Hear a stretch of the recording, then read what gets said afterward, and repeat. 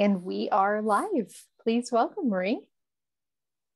Good morning, good afternoon, good evening, everyone. I'm Marie Dennis, Senior Advisor to the Secretary General of Pax Christi International, and I am honored to serve as the moderator of what I know will be a very interesting conversation about religious leadership in addressing global crises in the 21st century.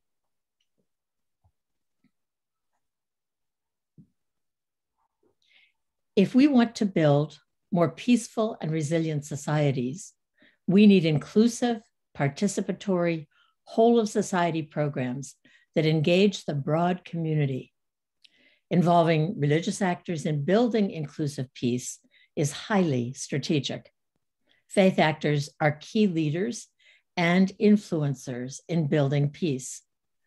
They are often in positions of trust and influence and play a vital role in building resilience, including amplifying messages to change behaviors, shaping public attitudes, providing social programming, advocating for social justice, and bridging political or societal divides.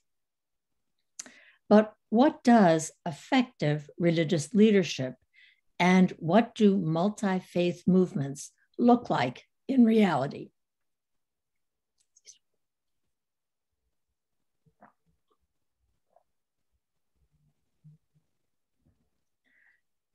excuse me.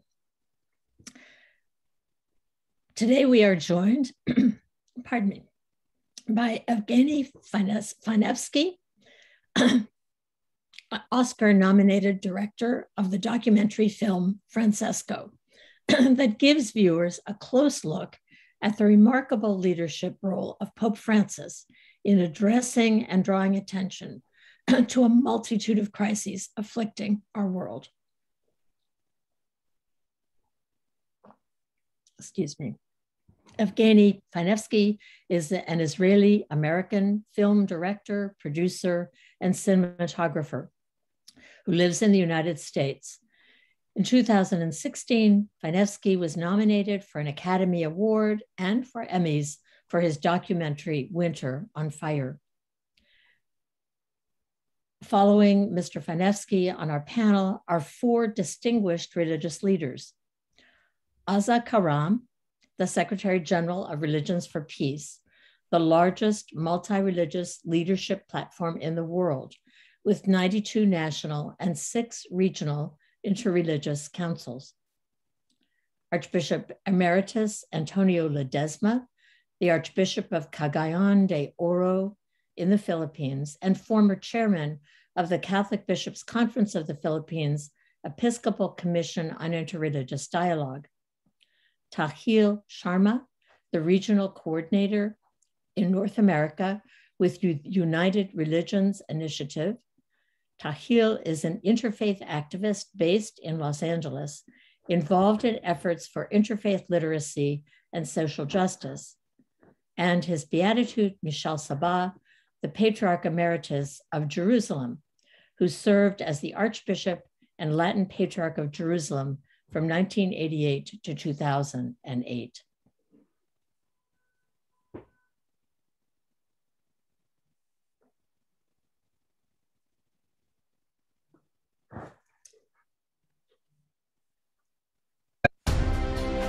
La mayor parte de los habitantes del planeta se declaran creyentes. Esto debería provocar un diálogo entre las religiones. No debemos dejar de orar por Él y colaborar con quienes piensan distinto. Confío en Buda. Creo en Dios. Creo en Jesucristo. Creo en Dios, Alá. Muchos piensan distinto, sienten distinto, buscan a Dios o encuentran a Dios de diversa manera. En esta multitud, en este abanico de religiones, hay una sola certeza que tenemos para todos. Todos somos hijos de Dios. Creo en el amor. Creo en el amor. Creo en el amor. Creo en el amor. Confío en vos para difundir mi petición de este mes. que el diálogo sincero entre hombres y mujeres de diversas religiones conlleve frutos de paz y justicia. Confío en tu oración.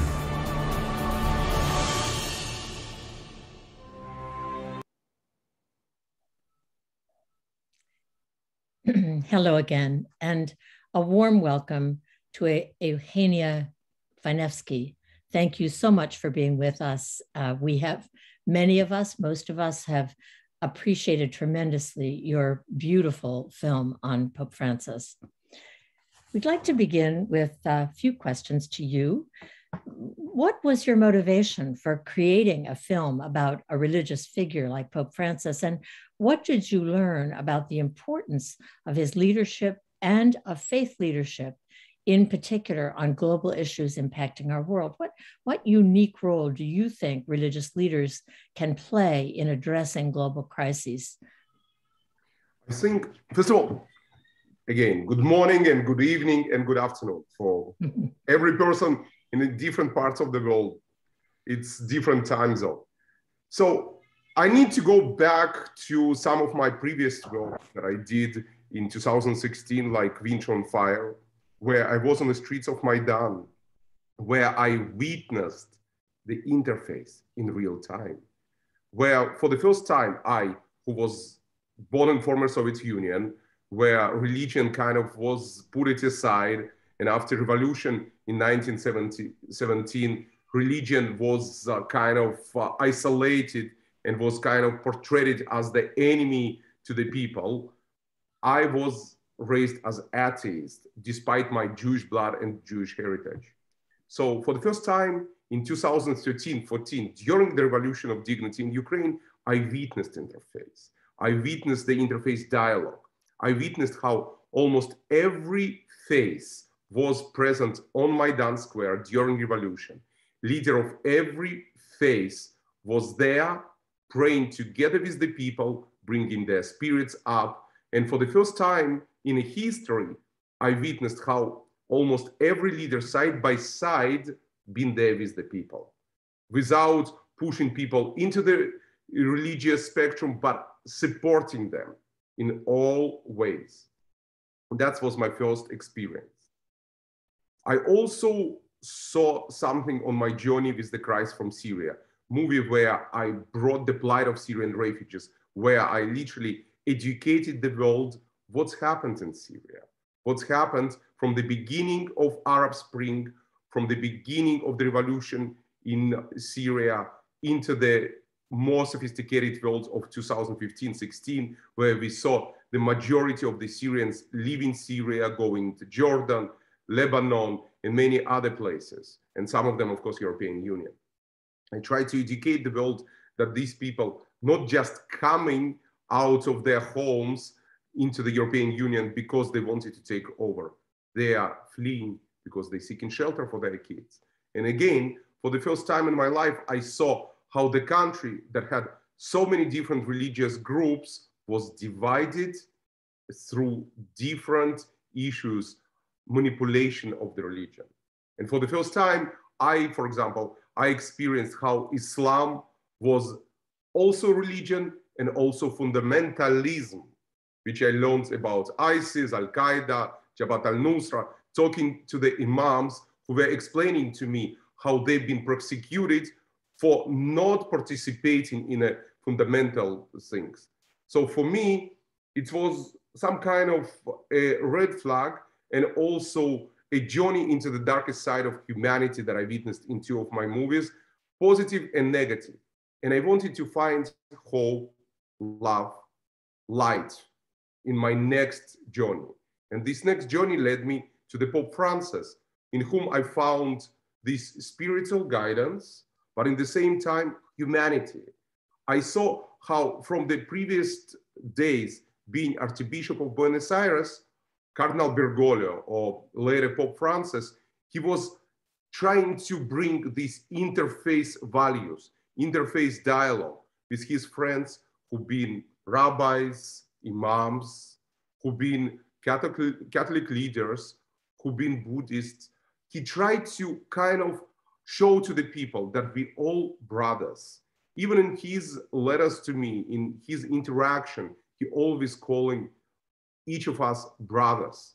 And I think this beautiful interaction really inspired me to go and tell through his actions story about all what's surrounding us, to open to a viewer ability to see how world is distracted, damaged, and in the same time give opportunity through his amazing work to build a better future, to do a reset, and to reevaluate all what we already destroyed, and through interfaith dialogue, through uh, humanity and love, to build something different.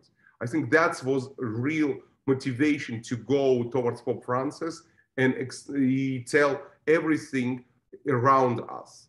Because the movie, as you saw, have almost every subject, every headline of today's world. And I think that was the inspiration.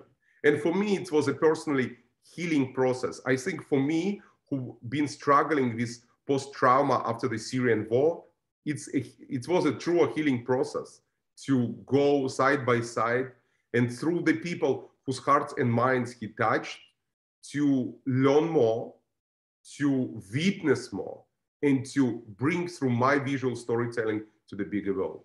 So I think that was the inspiration. What I learned, I think dialogue, it's the most important thing in a peace building, in a building more human kind of world that we are missing in today's world. Today's world is super divided. If you will look on right and left, almost every issue that surrounding us is the issue where religion is manipulated or taken in different perspectives. Even in today's headlines of uh, Afghanistan, we're looking at the Taliban, who is, uh, in my opinion, it's a terroristic organization. It's nothing to do with the proper Islam, which people really should be taking seriously and learning. So I think any aspect of today's life, Middle East, Jerusalem, uh, your beatitude, I've been raised in Israel, so I've been many times in Jerusalem. And for me, Jerusalem is small and very historical place is always been a pain because we see how many people not able to find a peace in this small and beautiful historical place. So for me, looking at the all religious aspects and ability to bring this dialogue, it's always a goal and importance. And what we can see from today's actions of Pope Francis, last week, he had every faith leader in Vatican. They signed a tremendous engagement for the world leaders to support faith and science to combat climate change. It's a tremendous thing where we're seeing how the, for the first time, faith aligned together with the science to combat something that is important to preserve this planet for the future. And next day, they signed something about education. I know how important education for Pope Francis. In fact, we based on a movie just released curriculum for the schools and we're working on a study guide because education is really important. And one of the main points in a curriculum and a study guide is interfaith dialogue. We need to teach people not to judge by their religious beliefs and feel that each of us are brothers. We all even, we're all children of God, no matter how we call him. Some of us can call him Allah, some of can call Abraham Avinu, some Jesus Christ, but the most important, it's one God above all of us. So I think that's the tremendous values that I personally learned from Pope Francis, and I still learning. Thank you so much. Um, and again, thank you for the extraordinary film that you have produced. Uh, it was inspiring and challenging and uh, conveyed in many ways exactly what you have described. Let us just take a few moments to um, to see a few pieces from this film uh, before we move on.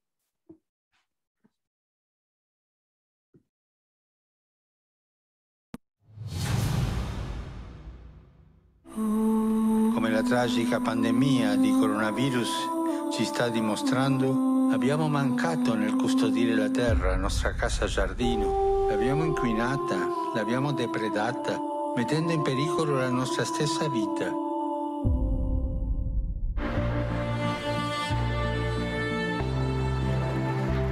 This is a man who, who's opened his heart to the hearts of all of humanity. This is a man who cries with humanity, who laughs with humanity, who suffers with humanity. This is Pope Francis. La humanidad vive una crisis que no es solamente económica y financiera, también es ecológica, educativa, moral, humana. I'm convinced that we can make a difference. I'm sure.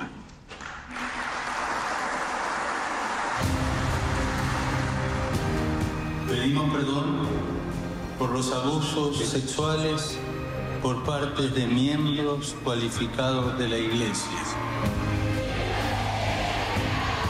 Un'altra volta. E per questo, perché tutti siamo fratelli, vogliamo la pace. Ser la voz, pero no de una manera programática, me sale solo. Y también por mi sangre migrante. Una persona che pensa soltanto in fare muri e non fare ponti non è cristiano. I think God made him experience what people experience. Queda feo que lo diga un papa, no sé. Las quiero mucho.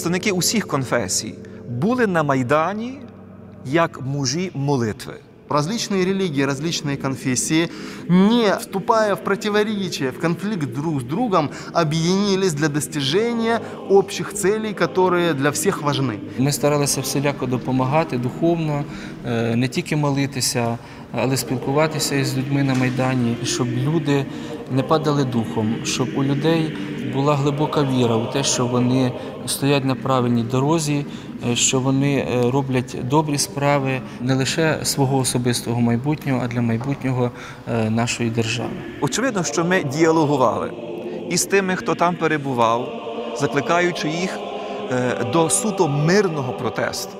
Бо саме мирний протест є ознакою великої сили і мужності Бо першим за зброю хапається слабкий. Когда вот э, случалась уже эта переломная, скажем, ситуация на Майдане, когда снайпера стреляли, то за, э, за этими людьми, которые там э, стояли, э, были люди, которые на коленях молились на розарії. Ніколи ніхто не міг собі уявити, що у третьому тисячолітті у цивілізованій Європі ми можемо стати свідками холоднокровного розстрілу е, е, беззбройних людей. життя, яке люди віддали за волю, за незалежність нашої батьківщини, за краще майбутнє, е, це є уроком для кожного із нас, е, що ми дійсно повинні бути патріотами своєї держави, іноді навіть і готовими віддати своє життя за правду і за свої переконання, за якими стоїмо на тому чи іншому майдані. Каждую субботу, вот вчера у нас была шаббат, мы молились на Торе за благополучие Украины, чтобы здесь были, что Всевышний помог ей подняться материально, духовно, встать на ноги. Мне кажется, это не то что чудо, а люди поверили, то есть у них осталась вера. Самое страшное убить в лю- людях веру. Этот Майдан был, ну как сказать, победили, потому что верили. Когда казалось, что уже э, наступили самые тяжелые времена, всегда Господня помощь давала людям надежду и веру стоять до конца, и мы выстояли. Коли все захиталося, всі шукали точки опори. Якраз цю опору знайшли у духовному житті, у духовному вимірі, в тому діалозі між Богом і людиною. И Бог выслушал молитвы. Эти события, они нас объединили, и мы все поняли, что мы украинцы. У нас есть происхождение разное, но все мы дети Украины. Мусульмане, иудеи, христиане разных конфессий, буддисты, э, люди просто неверующие, да, с таким уважением относились друг к другу, так уважительно относились э, к религиозному выбору своего ближнего, что можно сказать, что родилось новое сообщество, сообщество толерантных людей, которые вот в этот тяжелый трагический час увидели в друг друге человека, такого же патриота Украины, который любит свою страну и готов за нее умереть. Кожним із нас Бог первый. As you just saw, that's a clip from my movie on Maidan, which was Oscar nominated. And as you saw, for me, who was raised previously in former Soviet Union and Ukraine was a part of former Soviet Union Mm. as atheist, I witnessed something that was incredible. Every leader whom you saw there of the face was on Maidan and side by side was praying with the people. And I think, like uh, Imam said, they were respecting each other and it was a dialogue. And I think that dialogue helped and unite people and allowed them to win this revolution of dignity. And I think what we all trying to achieve following Pope Francis, following your amazing work, I think what we trying, we're trying to unite people. We're trying to unite people by all means of humanity and not just trying to emphasize one religion. Pope Francis not trying to unite just the Catholics, he trying to unite the world. He looking at the people as people. He's not looking, they're Catholics and they are my parish and I will be taking care of them. No, he looking at every human being. Mm. And I think the most important for every human being in today's world, specifically that we are still in pandemic, specifically that we suffered a big loss. And I think pandemic taught us a lot of things and a lot of lessons. I think it is important to emphasize that today the world is a red line. Today uh, the world's missing unity. Today is the world in a war. We have invisible war with the pandemic, with the virus, and we have visible wars that we as human created because of the religious differences. Mm-hmm. Religion was manipulated. Religion was a kind of uh, in, done into different interpretation to serve some personal agendas. I think it is important in today's world to rethink everything and to rebuild a healthy, better future that we all can preserve this planet and build a healthy and loving society where people can respect each other. Exactly like we saw it on Maidan, exactly like Pope Francis is trying to do. Thank you again, Evgeny. Um, that second clip was from Winter on Fire. Is that correct? Um, a, a remarkable Yes. film, uh, earlier film. Um, thank you so much. What the stories that you're telling, uh, you're lifting up the potential for nonviolent approaches to dealing with the challenges that we're facing in the world now. Uh, that effort is so important. Thank you very much. We'd like to move now to um, our second uh, panelist, Azza Karam, again, the Secretary General of Religions for Peace. Um, welcome to you and thank you so much for being with us, Azza. Just a few questions to, um, to begin the conversation with you. As a leader of a multi faith organization, can you talk about the role of multi faith collaboration in addressing global crises? What is the impact of multi faith action? And what can we learn from Pope Francis uh, about multi faith collaboration? What are steps that leaders of various faiths can take to emphasize the importance of multi faith collaboration? Sure. Thank well, first of all, thank you very much, um, Mary, for the opportunity to be with you here today. Thanks you to Pax Christi International and the Alliance for Peace Building for hosting this beautiful session at a really timely moment and on a very, very typical issue. It's a great privilege and an honor to be with you all here today, and especially to be uh, having to speak after Yevgeny, which is not something I would have uh, advised anybody to do. Uh, but I think one answer, really clear answer to the question about multi faith collaboration, we have just witnessed in that clip from Evgeny's movie of Winter on Fire. The impact of every single religious leader coming together in to address everyone, to serve as one amongst their people it wasn't just one religious leader, it was at least three that we saw in that clip. That is the impact of multi religious collaboration. It is what also Yevgeny spoke about. It is the healing that takes place not only by one leader, not only through one community, not only through one religion, but effectively, if we maintain that religions matter to most people's lives, which statistically they absolutely do, then we must understand that it is a key to the healing in most people's lives. And therefore, when all religions come together, when religious leaders in particular come together, that is a moment of the most intense bridge building and healing that can happen, not only for one individual faith tradition. Um, again, as Yevgeny mentioned, and I would underline, His Holiness Pope Francis's appeal extends way beyond the Catholic community way beyond. It goes to it goes throughout the world. The man is the pope of the catholics but the faith leader of all faiths. And in that respect i think we have to pause to consider why one man who is really a leader of one 16% catholics are 16 1 6% of the world. Why is the leader of 16% of the world's religions perceived as such a valuable emotionally charged, wonderfully welcomed faith leader by all faiths because he speaks the language of all faiths. He does not only limit himself to only, I mean, excuse me for that. I speak as somebody who comes from a non Catholic tradition. He does not limit himself to the language, the rhetoric of, of even just of the Holy Bible. The man speaks of faith. The man speaks of love. The man speaks of compassion. The man speaks of mercy. These are all values that are deeply held and fully maintained by all faith traditions, including indigenous traditions around the world. So he speaks the language of faith that is universal.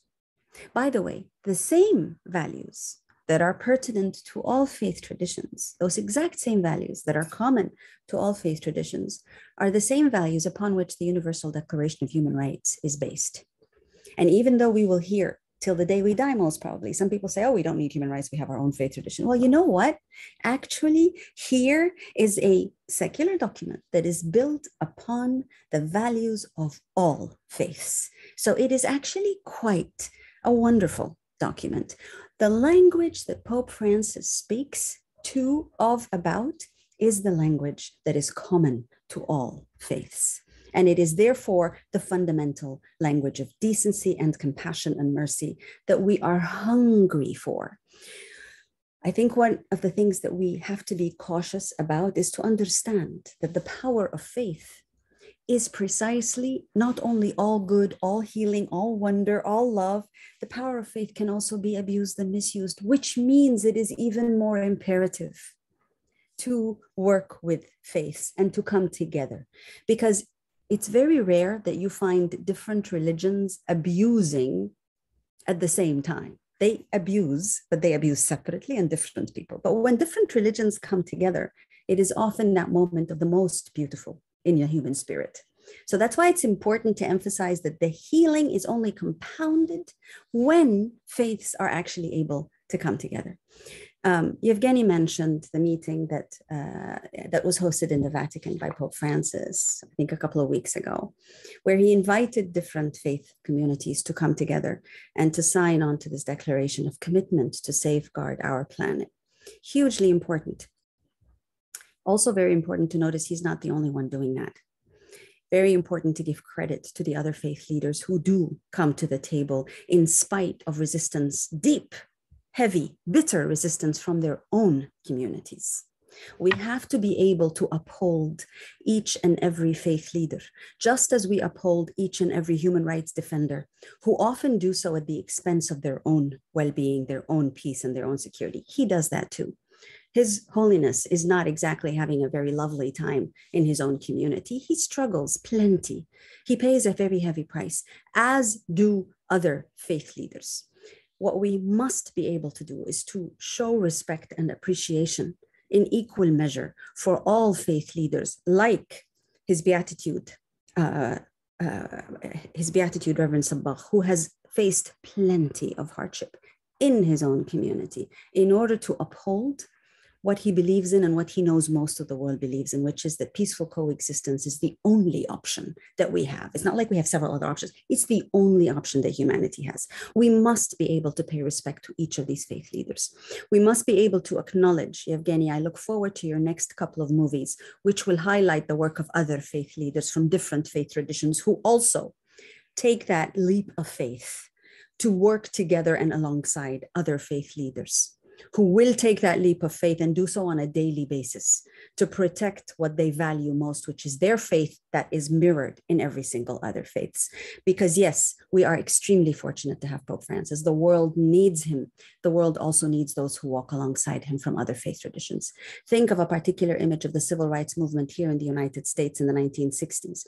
We had Martin Luther King Jr., absolutely, who was a remarkable a remarkable voice. But next to him was Rabbi Heschel, and next to him was another imam and a priest. And that image shall forever be seared in our memory as the civil rights movement's point. We must pay tribute to all faith leaders equally. We must highlight them and we must respect each and every one of them. Because at the end of the day, if we're serious about the multi religious, then we have to show the multi religious leaders who come together. We must show the women and the youth in those movements who also sacrifice, who also commit, who also work day and night.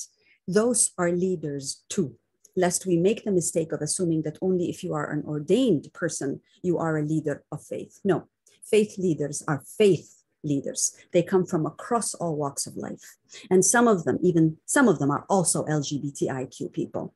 Some of them are people who are shunned deeply by their own institutions, but they are faith leaders of the most beautiful caliber. That is what we must do as we acknowledge multi faith and multi religious coexistence. COVID taught us a very, very hard lesson.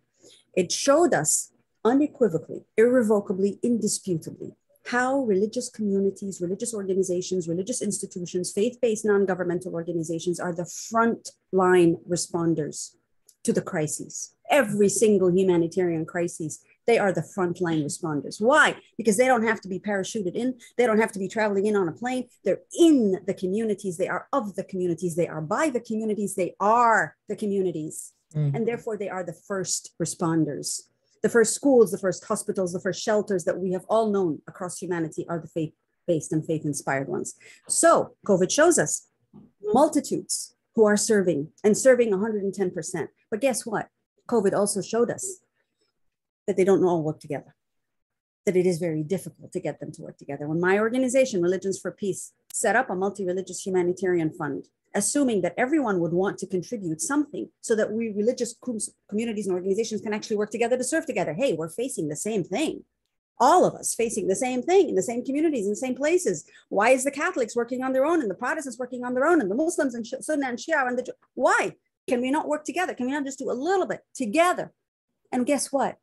It's darn difficult to get a single contribution including from the world's largest organizations the world's wealthiest religious organizations. Because because we are too busy. We have so much to do. We don't have time to coordinate we don't have resources. We're struggling for resources ourselves. Well, guess what? The real test of our faith is in the extent to which we are willing to give that which is dearest to us, not only to our own organizations, not only to those who look like us and talk like us and speak like us and pray like us, but to those who are different from us, but who still need our humanity. That multi religious test remains till today the biggest test of all faiths. The day we learn to give of that which is most precious to us For others, other than ourselves, is the day that we come to terms with the most beautiful aspect of faith, and that is the giving and the service. Way beyond dialogue, Evgeny and the colleagues, way beyond dialogue is the service. And that is what the movie showed, the last clip of Winter on Fire. Thank you. Thank you so much, Azza. That such so important to be speaking the language of all faiths and acting together. Beautiful. Thank you. Um, now we'll have a few words from um, Archbishop Ledesma in the Philippines.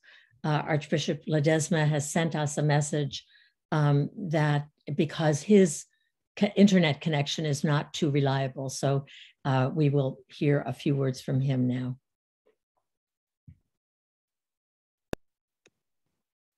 I am Archbishop Antonio Ledesma, Archbishop Emeritus of the Archdiocese of Cagayan de Oro, and also formerly Bishop of the Prelature of Ipil, both in the island of Mindanao in the Philippines.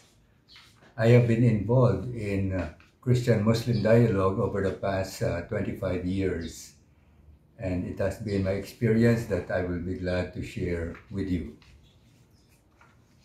In 1995, the Prelature of Ipil was attacked uh, by a motley group of Muslim rebels and uh, about 60 people were killed, uh, massacred in the town center. The town, the marketplace was uh, burned down. That was a year before I was appointed uh, the bishop there of the uh, prefecture of Ipil. But it was in that context that uh, the previous bishop, Bishop Escaler, and myself said that we should really work for a culture of peace in the area. And that is what we did. We tried to give seminars on a culture of peace to mixed communities of both Christians, Muslims, also Protestants, and other indigenous people groups so that we can form this culture of peace among all the cultural groups in that area. And I'm glad that that has uh, been done because that has been one way to also modify and bring about peace in the situation. The first efforts for peace negotiations with the Muslim communities took place between the government and the Moro National Liberation Front. And there was actually a peace agreement signed by both sides in 1996. About that same time, it was also the occasion for the formation of our Bishops Ulama Forum. It was really a dialogue forum among bishops of Mindanao and uh, Muslim uh, religious leaders. And since then, we have also been periodically meeting to show that both religious leaders of both sides are really working for this culture of peace. Later on, uh, after a few years with the peace agreement with the Moro National Liberation Front, another group, the Moro Islamic Liberation Front, also was formed to continue the struggle for uh, genuine autonomy among the Muslim communities.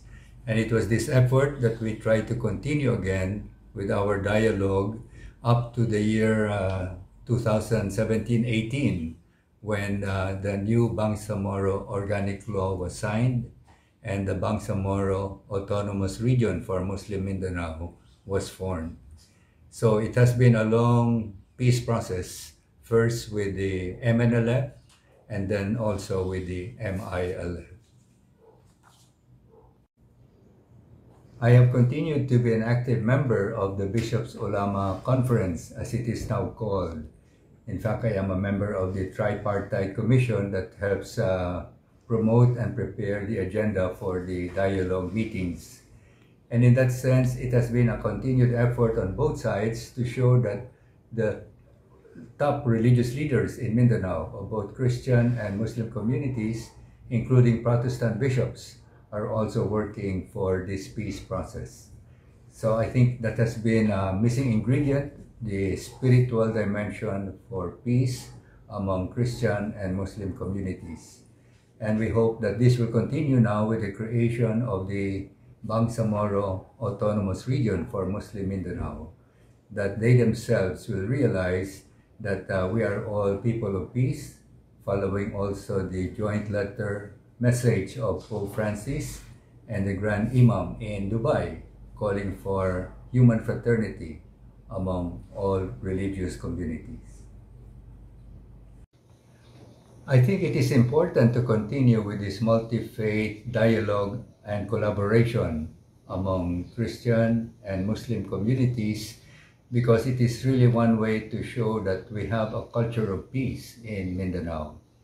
In fact, only about a month ago, we had a webinar here about uh, and speakers from Indonesia and the Philippines talking about uh, Miriam in the Quran and Mary in the Bible and how Mary, Miriam herself can really be a focus for joint devotion among Christians and Muslims. And we can even call her the mother of peace for all our Christian and Muslim communities. So we hope that this multi-faith collaboration will continue, not only really for the sake of peace alone, but for the sake of development and human fraternity among all peoples of goodwill.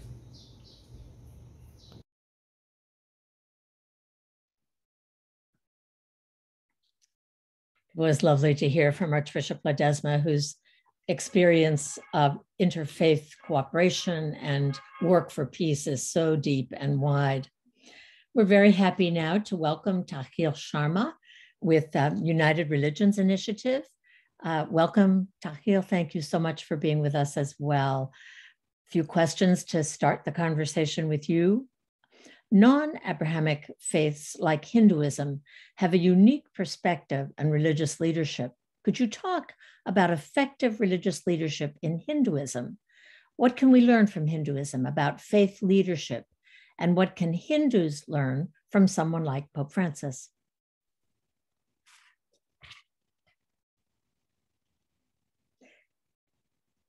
We could you turn your your microphone on, Tahir?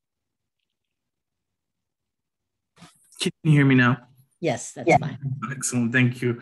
Um, to follow Dr. Karam's point, I think the fact that I have to follow Evgeny, uh, the former Archbishop, and Dr. Karam may have been not necessarily a disservice, but a lot to prep for. So I, I, appreciate being uh, building the momentum in me. Um, but to your question, Marie, um, Hinduism does not function as a monolith.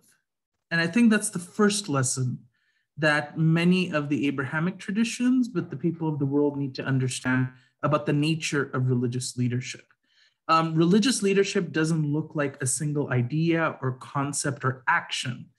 And therefore, it becomes incumbent upon all of us to be able to engage in religious leadership, however, it's suitable for our contexts.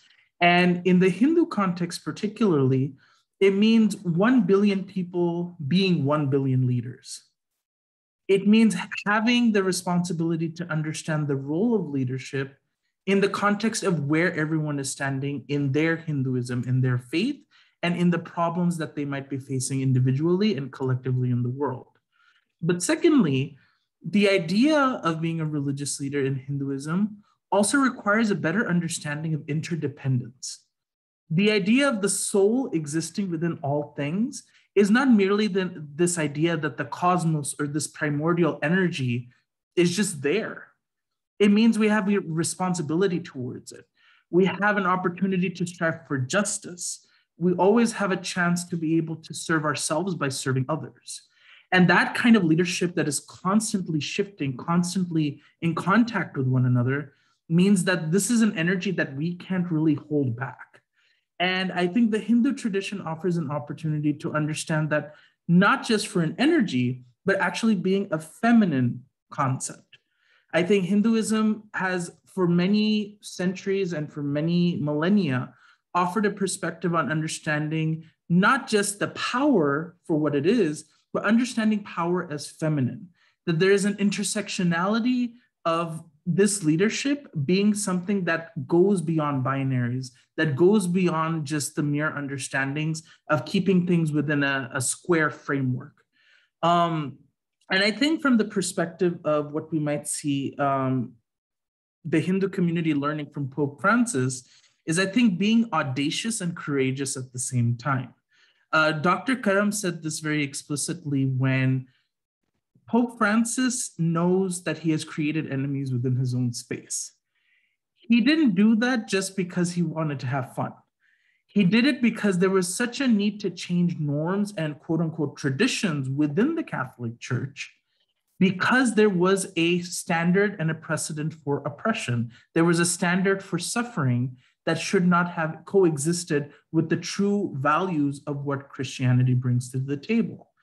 And in the Hindu community, being able to strive for a, an organized approach to having community has not existed for quite some time, unfortunately. You may find that Hindu communities exist around the world, but they do not work in sync with one another. They do not build relationships with one another. And I think this is something that the Catholic Church can equally teach to the Hindu tradition because the nature of that collaboration remains very low within the Eastern traditions. We don't function in hierarchy the same way, so that interdependence model is very important to us. But with a lack of that kind of administrative process, we don't actually have an opportunity to build momentum like many Christian, Muslim, and Jewish traditions and communities do. Now, as they look at each other, they might find a lot of ways to be able to learn, you know, things that they may um, be building over time in terms of their frameworks, but they actually can't teach each other some things um, there are some things that they have to go out of the pulpits for and to go to the pews to learn. Um, and one of the things that I think is important to do is to open the floodgates of power when it comes to the opportunity of showing religious leadership. Many times, unfortunately, we come to um, the work of religious leadership as only those who hold the giant crucifixes on their neck. His beatitude, this is not a, an offense to you, um, those that may wear hats, those that may wear robes, those that may, you know, present themselves speaking in the tongues of scriptures and tradition. But that is not the nature of religion and spirituality. It never has been. So, therefore, how can we define the idea of religious leadership as a monolith? I came into this space being called a religious leader, and a part of me doesn't accept that because I don't look like any of those things. I don't present myself in that way. But that's exactly the point.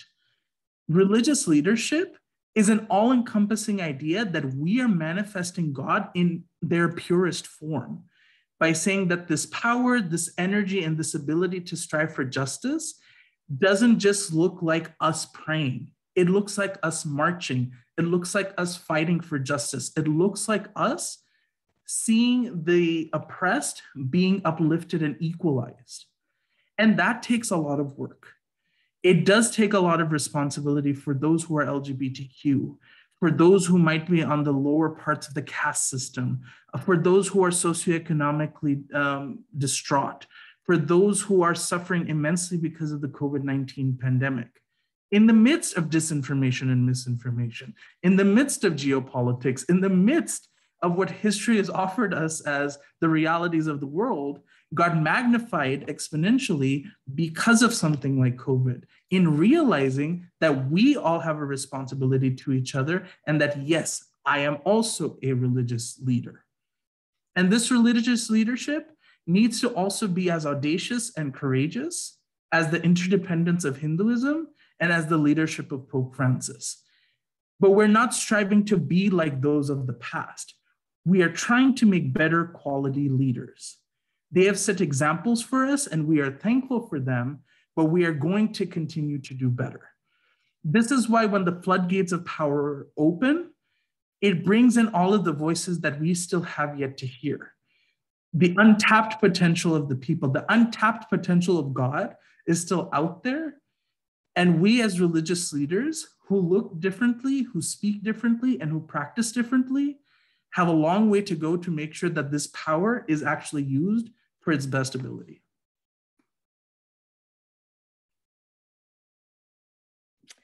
Thank you so much, Tahir. A lot to think about.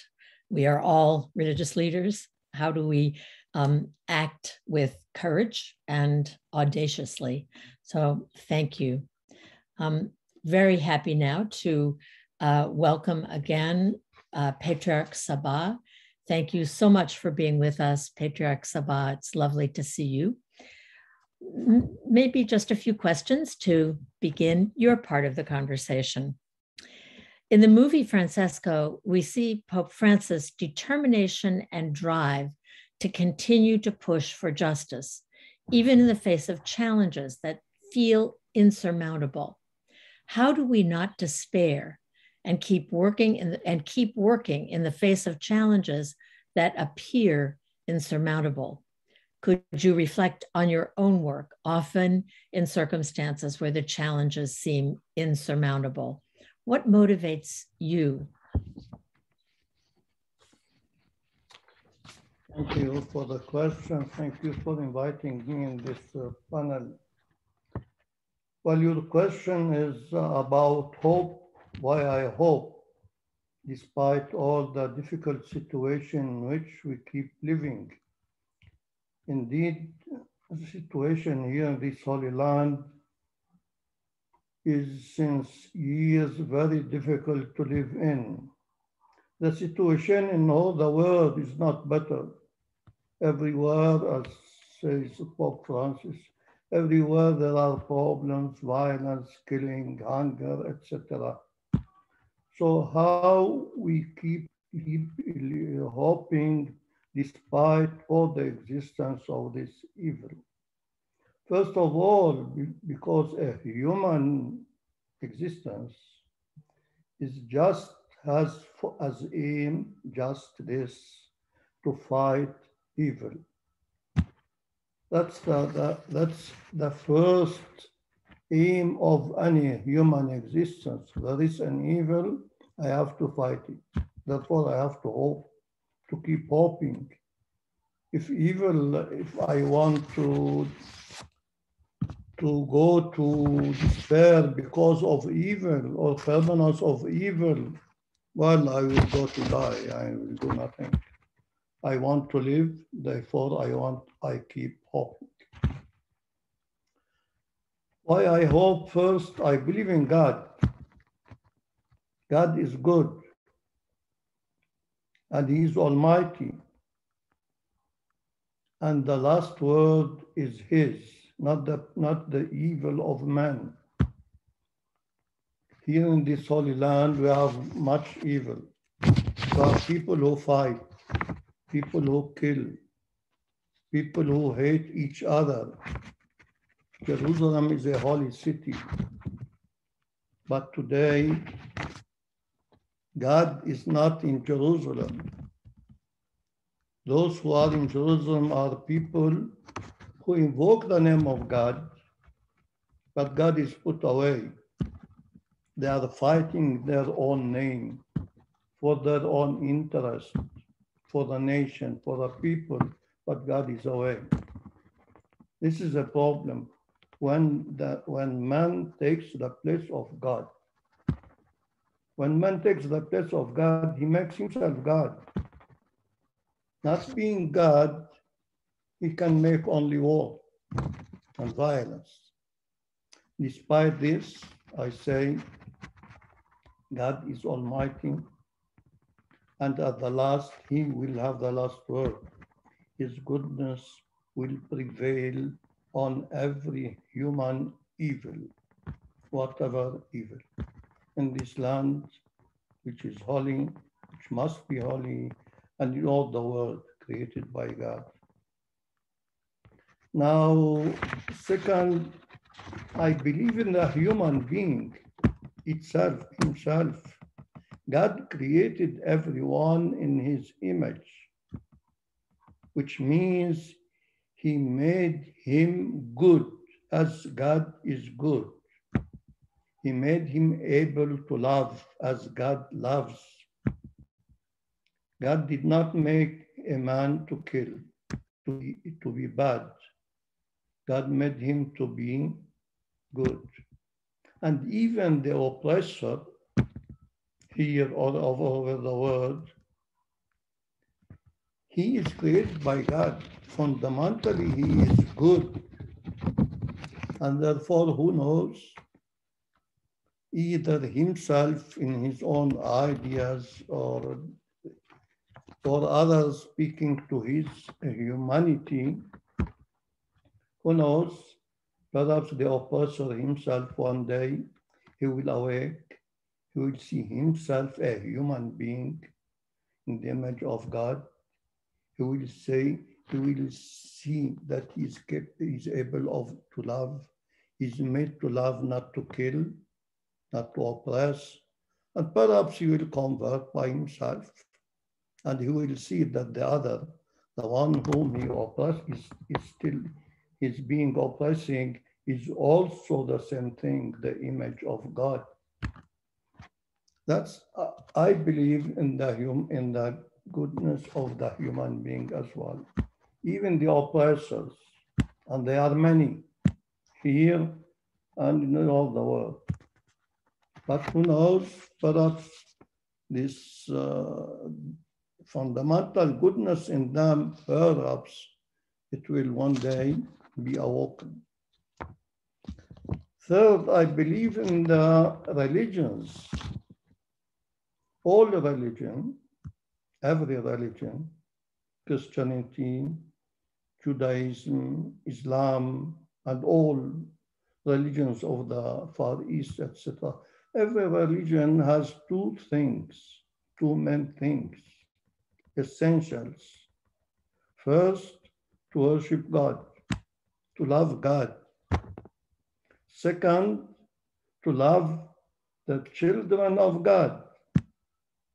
All religions say this. Christianity say this, you love your neighbor, whoever he is. Islam say the same thing. Everything is a brother. Everyone is your brother. In religion, if he is the same religion as your brother, if he's not the same religion, he's your brother because created by God. So we are all brothers and sisters. This is religion. Now, if everyone is educated in the essentials of, of religion, everyone will know, will be aware that everyone is his brother and sister. The problem in religion, we get lost in external practices. External practices are good to fast, to pray, to go to mass. It's very good. But to be to be faithful to the religious external uh, practices and not to believe in the essentials of religion, God is love. And the children of God, if you love God, you must love his children. It is all, all external practices are useless. Even they, they become sometimes obstacles to your true religion. Therefore, I say that religious uh, leaders, they are responsible. A religious leaders can educate people who love each other in all religion. and they can educate killers in every religion. When they insist on the essence, God is love, and love all the God's children, they will educate people and peoples who love each other. When they, edu- when they insist that I am the only one who believe, and worse, when they take the place of God, when religion is no more religion, it is rather a religious structure in which a human being make himself God. That's the problem. When man becomes God and he is not God, he makes only wars and problems. So religious leaders are responsible for educating new generations. And today, thank God, as we saw with Pope Francis and uh, Sheikh uh, Tayyib of Azhar, they are very aware that religion makes brothers, does not make enemies. In the past, religions made enemies. Today, some extremist religious, they make wars. They don't make uh, fraternity and brothers. But all this depends from the education they receive, the concept of religion they receive. So I think uh, in order a kind of word manual, word uh, guide, uh, guidebook should be done at the level of uh, the world. Alliance of Peace should perhaps consider this to have a book, guide, a religious education, world religious education, insisting on the two points, touching nothing in the dogmas or uh, details of any religion. You, you love God, which is true for any religion. You love the children of God. All the creatures are your brothers. Because if we have this education, universal education, we will have a new a human generation of peace. Until today, the human generations are generations of war. And this is, here comes over the role of the political leaders. The political leaders, whether they believe on God or not, they exploit religion for own, their own interest. And what we see in the Middle East, they are exploit making of religion a new weapon in their wars. Beside all their sophisticated weapons, they add extremism. They, they say they are, uh, they are fighting extremism, but they are nourishing extremism in order to use it for this or that or that. The destruction of the Middle East is one aim today of the Western policy. And, destroy, and they destroy it with their weapons, and they destroy it with, with the religion, fueling religious extremes. Which means now why I hope, despite everything, there is a fundamental goodness in every human being. And there is a bad inclination in every human being to be bad, to kill, to hate. Until today, the political leaders are only insisting on the bad side, they are making wars because they are grounding every their efforts and views on the interest, interest of the nation, okay, but the human being is first, then the human, then the national interest. Here in the Middle East, peoples, hundreds of thousands of peoples were sacrificed, are still sacrificed for the human, for national interests, world interests. Mm. So that is something the religious leaders have to do something, especially this common education based on the two basic essentials in all religion, God and, and, and man. Mm-hmm. And God is the child is like the nature of God, so he's your brother. The universal brother, as says Pope Francis. The political leaders, they need conversion. Who will make this? That's the problem. Because the political leaders that are making, they are converting the, the earth in a hell. Where, where everywhere they may, for us at least, our region, or the Middle East, not only the Holy Land, they are making it a, a land of war, a land of hate. So I hope, I believe all, despite all that, I believe in God. God is good and is more powerful and stronger than all the evil of man, than all the political leaders, even when they pray. Some of the political leaders will go to pray. I think God will tell them, tell them, your hands are full of the blood of the innocent in the world. Go wash your hands and come back to pray. Mm. We hope God will speak to these powerful of the world. Thank you. Thank you very much, Patriarch Sabbah. So much to think about.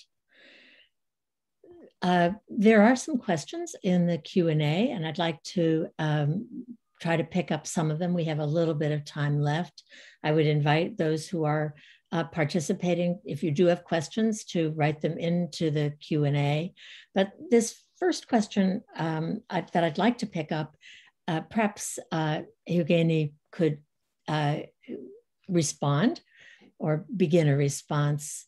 Uh, in the film, Francesco, uh, you illustrated again and again how concepts that sometimes seem soft, um, closeness, tenderness, and so on, make him, in many ways, make Pope Francis an authentic leader and, and also um, shore up his moral authority his tenderness and closeness with people, especially at the peripheries in encounter after encounter, um, were illustrated very well in your film.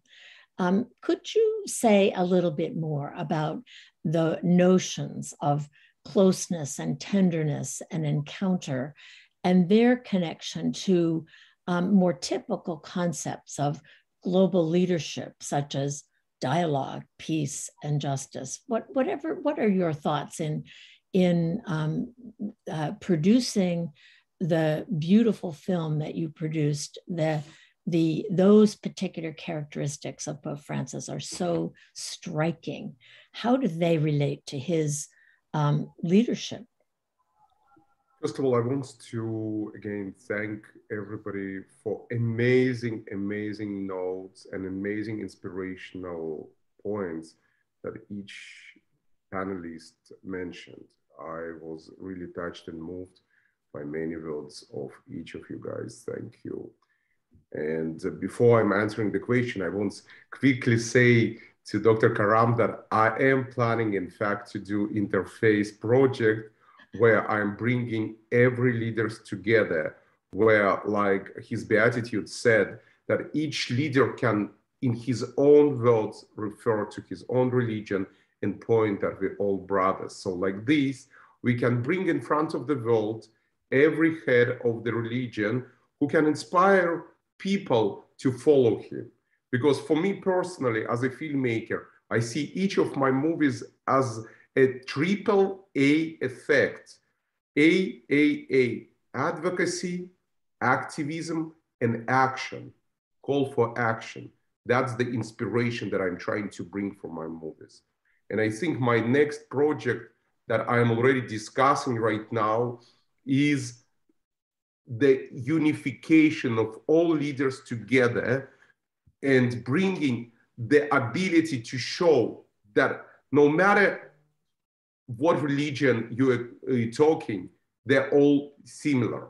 They all teach in peace. They mm-hmm. all teaching love. Exactly like his beatitude said, we all brothers. There is no religion that teaches to kill.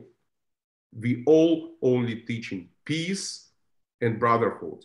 And like was mentioned by, uh, by Archbishop Antonio Ledesma, the fraternity the significance of fraternity that Pope Francis signed in his last encyclical last year that he signed, Fratelli Tutti, we all brothers, that the significance of teachings that we need to bring to the world and education need to implement these important values of uh, bringing the important elements of each and every religion that we can unite people, that we can educate people from the school and from the college and from the university side, that these future leaders, these people who coming out of these educational institutions, they can go into the big world and be advocates of the unification of people, being a spiritual advocate, no matter which religion they experienced.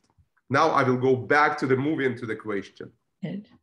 One of the great examples that we can see in a movie, and great examples that I saw, Pope Francis went to the Myanmar and Bangladesh, where he literally went to the periphery of the world to meet Rohingya refugees. He not went to Bangladesh to meet Catholics, first of all. He, he wanted to be close to the people, people who suffering, people who need help, but the most important, through his closeness to them, bring these important elements to, to bring the media with him so he can bring also their plight to the bigger world. And I think that's the effectiveness of his leadership to go to the periphery, bring media with him, and through that effect to show to the world important issues that we need to pay attention. Mm-hmm. Now, when I was trying to convince him to go on a camera and do the movie, he said to me, Evgeny, I'm a priest, I'm not an actor. I rather go to the periphery. I rather go to the streets of the world and be close to the people, allowing them to be voice to the bigger world. He trying to bring these voices from the periphery that we as humanity need to hear. And he didn't want it to go and be a actor or somebody in front of the camera. He is a priest. He is a leader and role model. That's what attracted me. His tenderness, I will give you an example with me. For me, what I learned from my interactions with him, you're not feeling the superiority of the leader when he is in front of you. When you are having a conversation with him, he is making you very comfortable. And I saw how he comforting refugees and migrants. Last month, we hosted migrants and refugees from 30 different countries, including Afghanistan, people who just arrived from Afghanistan. They all been in the Vatican, and he came to meet each and every person, listen to each and every story, see how he can help. I think this is the extraordinary uh, effect of his leadership and his tenderness, his closeness, we can see by going to Lampedusa to meet uh, refugees and migrants, mm. going to Lesbos, to the camps, to listen to the refugees and migrants, and then to go and talk about these important issues to the bigger world. We can see this on each and every step he is trying to achieve. I think that's the effect of his leadership.